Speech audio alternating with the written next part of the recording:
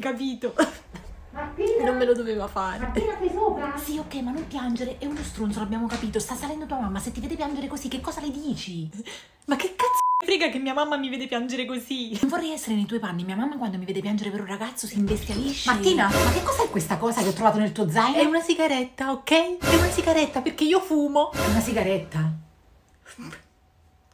Buona! Quasi quasi la fumo anch'io. Ma perché stai piangendo? Piango perché quello stronzo di Federico mi ha lasciato, mi ha messo le corna. Federico? Ma non si chiamava Francesco? Ah no, quello era quello della settimana scorsa. Tesoro, scusa, fammi spazio che voglio parlare con mia figlia. Ah, sì, sì, prego, signora, prego.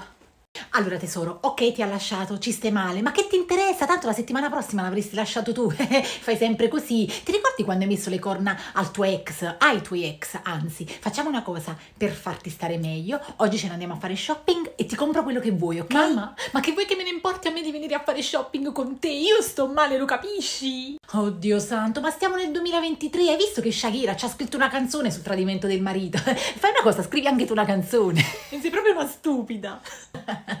Dai, sto scherzando. Allora, ehm, perché non ti fidanzi col suo miglior amico? Eh? Così gli fai uno sfregio? Ma il suo migliore amico non mi piace, è bruttissimo.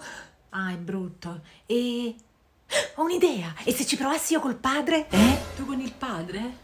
Beh, sarebbe un ottimo piano, mamma. Sì, dai. Escogitiamo qualcosa. Sì, Ma è un sogno? Già mi mangia Eh? la faccia. Allora, fammi, fammi pensare qualcosa. E No, vabbè. Um, escogitare. Come si fa a cambiare genitori?